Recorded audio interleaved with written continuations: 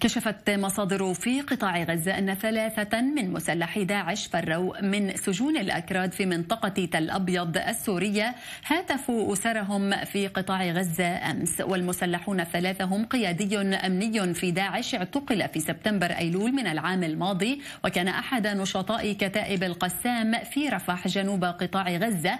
وأحد نشطاء التنظيم واعتقل بدايات عام 2018 وهو من سكان رفح أيضا. أيضا بينما الثالث من سكان خان يونس وناشط سابق في حماس والقسام.